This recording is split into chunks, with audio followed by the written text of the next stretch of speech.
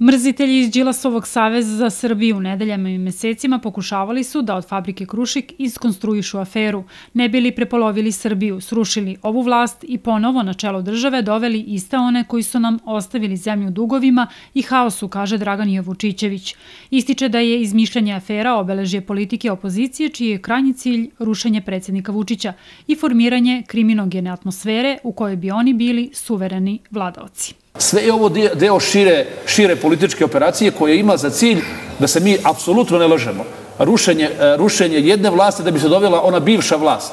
Ona vlast koja je uništila dobrim delom na vojnu i namensku industriju one vlasti koja je e, e, sekla tenkove, da vas podsjetim u starog voždje, one vlasti koja je govorila šta će nama vojska, mi više nikad nećemo ratovati, one vlasti koja je ostavila ovu ovu državu kad je sišla s vlasti, ostavila ovu državu sa jednim poluispravnim MIG-29. Da opozicija koristi svaku situaciju da napadne vlast, smatra i glavni urednik dnevnog lista Kurir Rajko Nedić, koji kaže da su komentari lidera Saveza za Srbiju i njihovih simpatizera na društvenim mrežama da bi bilo dobro da se u Srbiji raširi koronavirus i da niko ne izađe na izbore, u najmanju ruku neodgovorni. Takve izjave daleko su od šaljivih doskočica, smatra Nedić i dodaje da opozicioni lideri koji pretenduju da vode ovu državu ne smeju pokazivati takav vid neozbiljnosti. Po Twitteru društvenim mrežama se već su već bilo u početku i kao, kroz, kao šala nekada je pisali su svašta, znači da bi bilo možda i dobro da se rašire korona, ali onda ne bi, niko ne bi izašao na izbor kao korona dođi.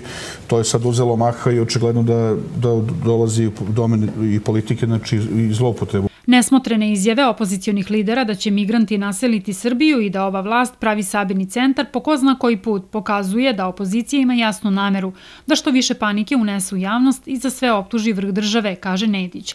Opozicija predvođena Savezom za Srbiju politizuje svaku situaciju, ne bili što više štete nanela državi, a takvim potezima zapravo razotkriva stvarnu pozadinu svoje politike, koja sadrži isključivo njihove lične interese, ističe Nedić.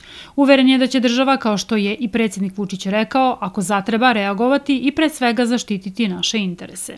Također je, su i pitanje migranata došlo u, na, ovaj, u, na teren na politički teren i tu opet treba jasno je znači, i, i normalno da će država da reaguje da ukoliko dođe do nekontrolisanog priliva da ćemo mi zatvoriti granice. Znači ovdje je sad pre toga bila priča da mi kao i do sad smo sarađivali da nismo se prema njima ponašali kao recimo Mađade ili Hrvati mhm. koji su ih brutalno vraćali, tukli i maltretirali. I naravno jasno je da oni, čak i da ih primimo, oni neće da sigurno da ostanu. Vučićević i Nedić kažu da se napadi na vlast zahuktavaju kako se bliže izbori, jer je opozicija nejedinstvena i u odluci da li izaći ili bojkotovati izbore. Budući da su svesni da kod birača nemaju podršku kakvu su očekivali, koriste svaku priliku da naškode vlasti.